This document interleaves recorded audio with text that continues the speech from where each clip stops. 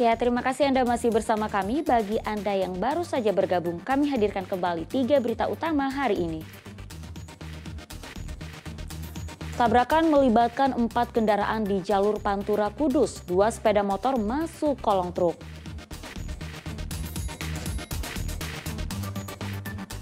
Sempat terhenti imbas COVID-19, warga peluburan kota Semarang kembali menggelar tradisi ruahan ke makam leluhur dan keluarga.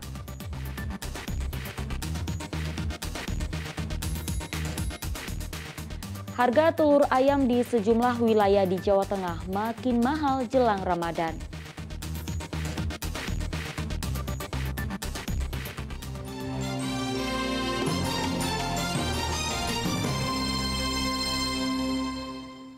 Menjelang dimulainya Ramadan, harga telur ayam di berbagai wilayah Jawa Tengah terus melonjak. Kenaikan mencapai Rp5.000 per kilogram. Para ibu rumah tangga merasa terbebani karena nyaris semua harga kebutuhan pokok naik. Dua hari jelang puasa, harga telur ayam di kota Semarang naik Rp5.000 per kilogram.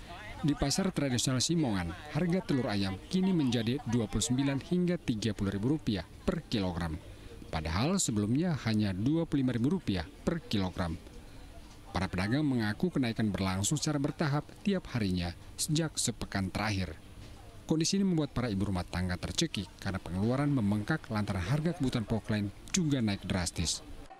Uh, telur jelang puasa Ramadan gimana? Mengalami kenaikan buatan ini? Naik tinggi sekali, harganya 29.000 per kilonya. Sebelumnya dijual berapa Sebelumnya itu? 2 sampai 25 pernah, 25 sampai ya? 25 pas murah kemarin. Uh, Bu ini kenaikan harga telur sampai 29 ini sejak kapan ini? Bu? Iya, setiap hari naik. Nah ya Bu. Iya, Uh, secara bertahap dari 25, 26, 27 hingga iya 200. begitu.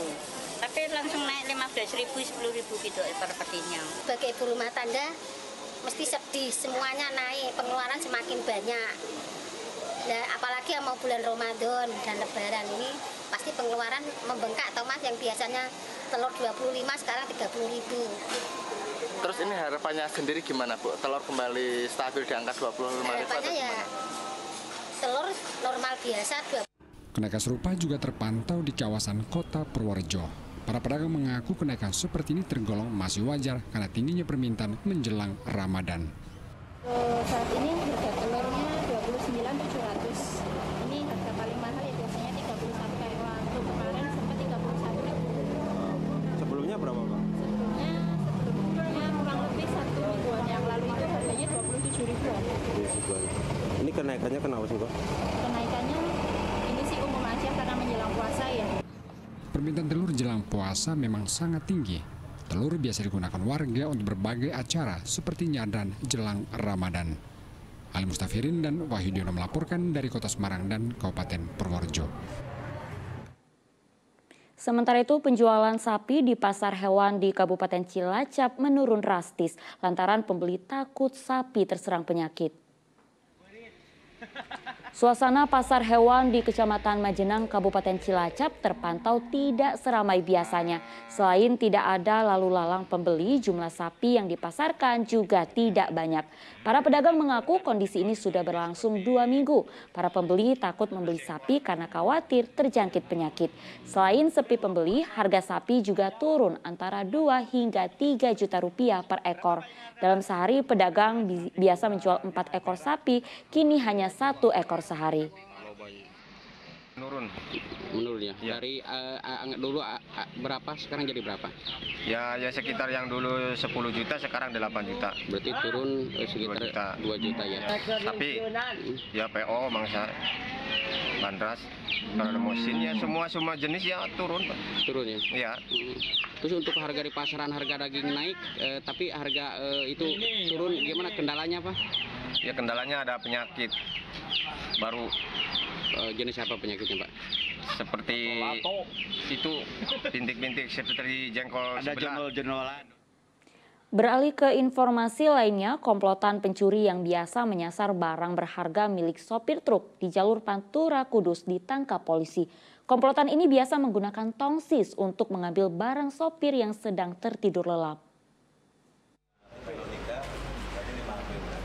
Dua anggota komplotan pencuri barang milik sopir truk, Muhammad Syeno Ibrahim dan Saiful Hadi asal Demak, dibekuk Satuan Reskrim Kepolisian Resor Kudus. Mereka biasa mencuri barang berharga milik sopir yang sedang beristirahat di jalur Pantura Kudus hingga Demak. Mereka memanfaatkan kondisi sopir yang tidur karena kelelahan dalam perjalanan. Komplotan tercatat sudah lima kali beraksi. Mereka biasa mencuri barang sopir seperti uang dan ponsel menggunakan tongsis atau tongkat penopang kamera melalui kaca jendela yang terbuka.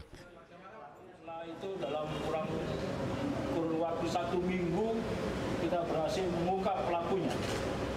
Ya, modusnya dengan menggunakan tongkat narsis itu, tongsis itu, terus mereka pakai ada semacam perekat pada saat uh, supirnya sedang terlelap karena capek istirahat, situlah mereka melakukan aksi. Para pelaku dijerat dengan pasal 363 KUHP tentang pencurian dengan ancaman hukuman maksimal 7 tahun penjara. Arif Nur melaporkan dari Kabupaten Kudus. PDI Perjuangan belum juga mendeklarasikan calon presiden dan wakil presiden untuk pemilu 2024 mendatang. Masyarakat diminta bersabar.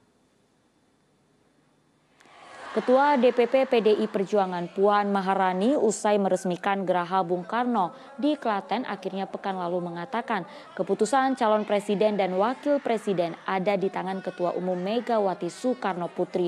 Duet Prabowo Ganjar digadang-gadang akan diusung pada PDI Perjuangan pada Pilpres mendatang. Namun lagi-lagi Ketua DPR RI itu meminta masyarakat untuk bersabar. Sesuai keputusan Kongres PDI Perjuangan, keputusan penentuan calon presiden dan wakil presiden merupakan hak prerogatif Ketua Umum Megawati Soekarno Putri.